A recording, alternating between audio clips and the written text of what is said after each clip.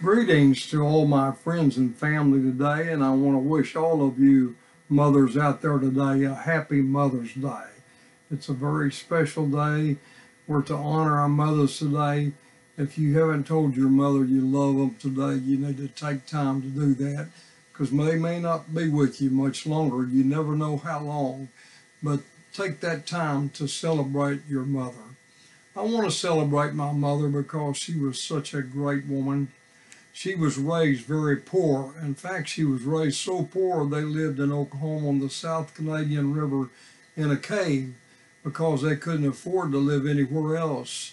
There was a member of four others in the family there besides her that were raised like that, and they were they're all gone now. But uh, I remember most of them, but my mother especially had a rough life as she started, and then she married. Uh, what was to be her husband, Herman Mayfield.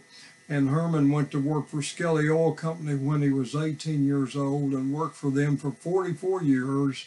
And he was honored by Skelly Oil Company, but they flew him to California and give him a special, uh, special thank you and dinner. And it was a great highlight in my mother and dad's life because they were very special. My dad was a hard worker my mother was a very hard worker. She worked for us. She made our clothes for us.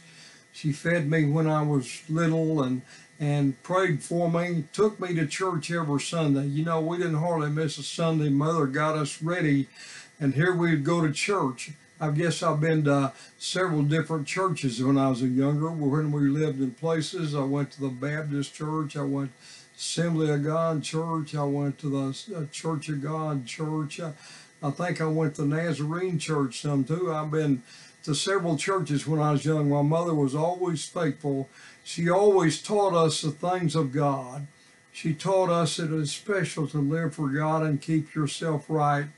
Uh, my mother taught us against drinking alcohol. She taught us against smoking. She told us all the things that we needed to do to raise to be raised up and to be kind to other one. And so I want to just be a special day to thank Gertrude Mayfield.